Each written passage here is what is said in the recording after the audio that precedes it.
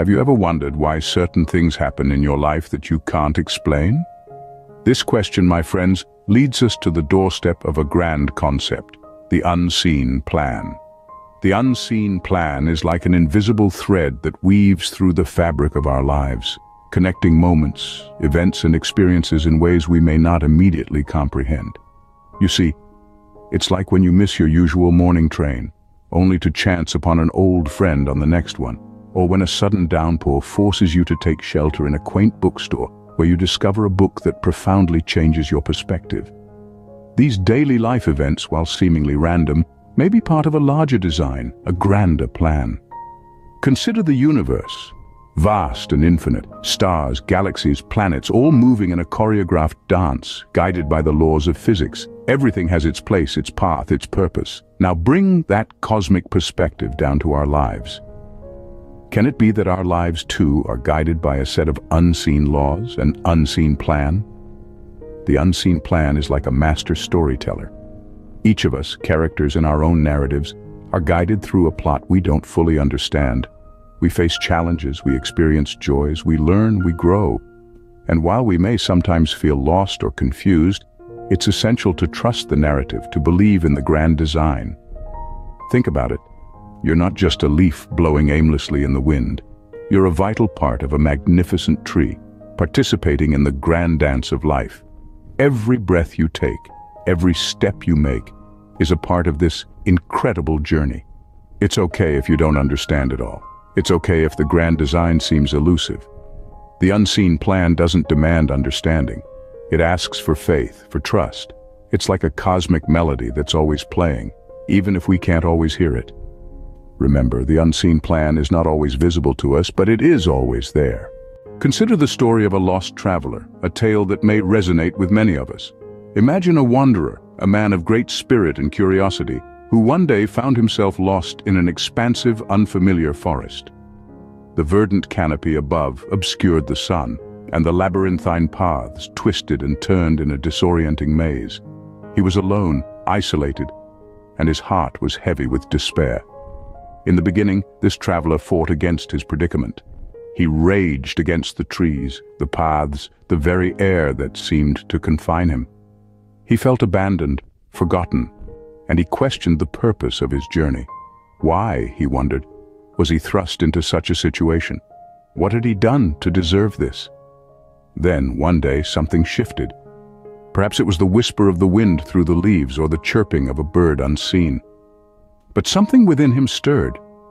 He decided to stop fighting his circumstance, to stop seeing the forest as an adversary. Instead, he chose to embrace it, to see it as part of his journey. So, he walked. He walked without a destination, without a purpose other than to simply move forward. He walked, and he observed.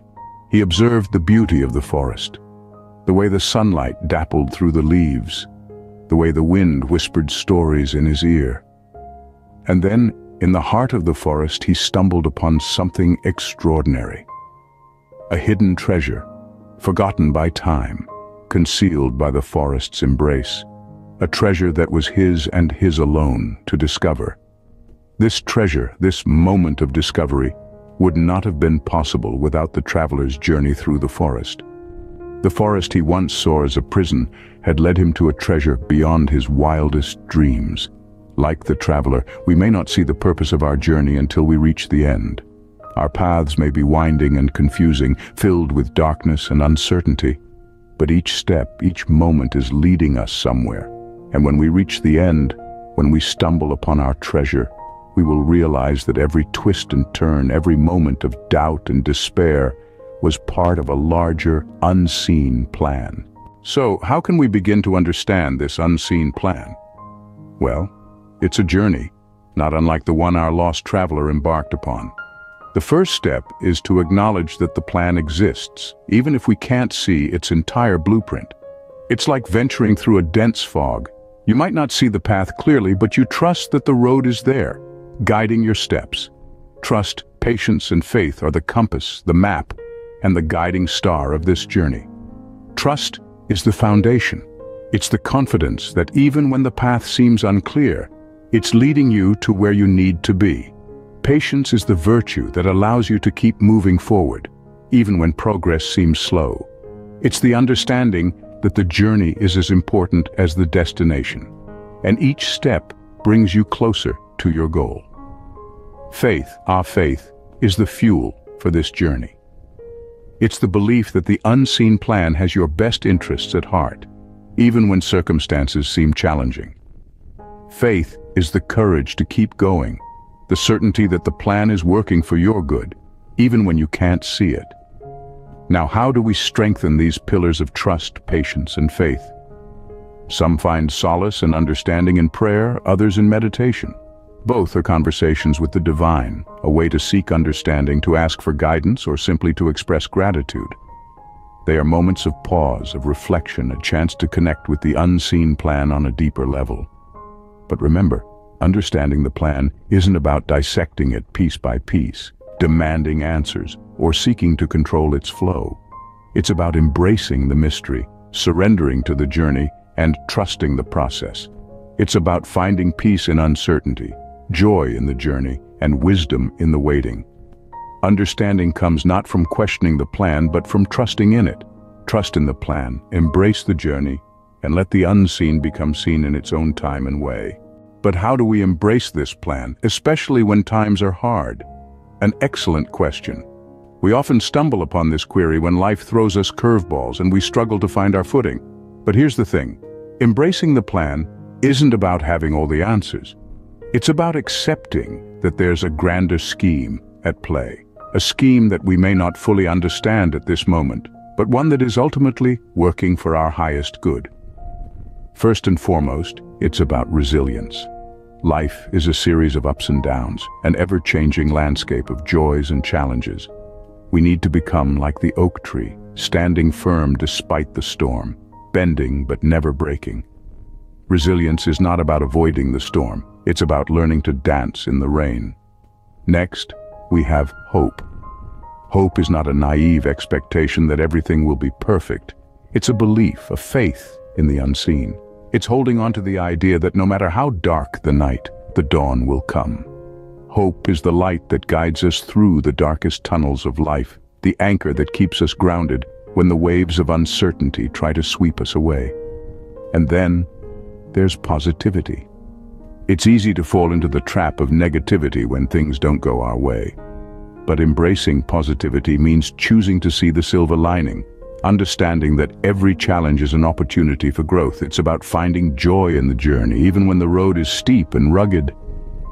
Embracing the plan is not a one-time act. It's a lifelong commitment to personal growth and development.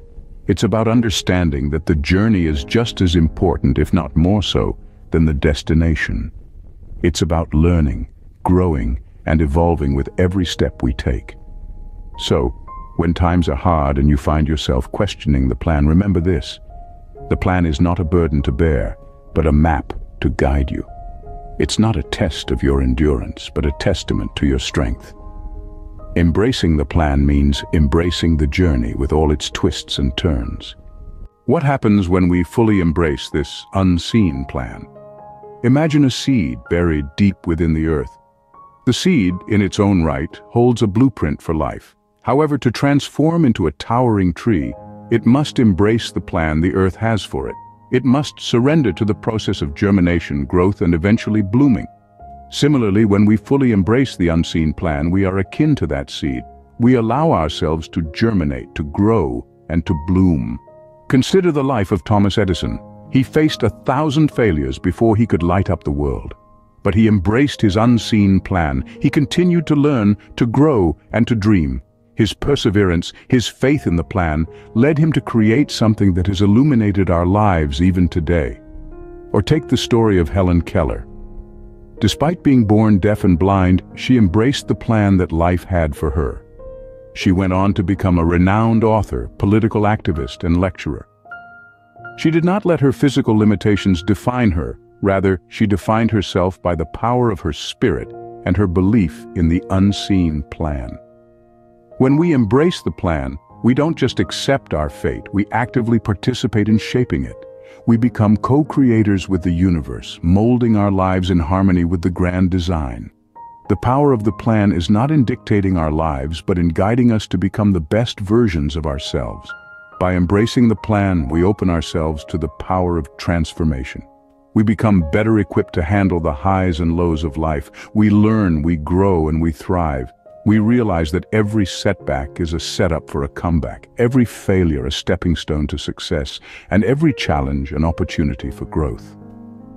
When we embrace the plan, we unlock the power within us to manifest our true potential.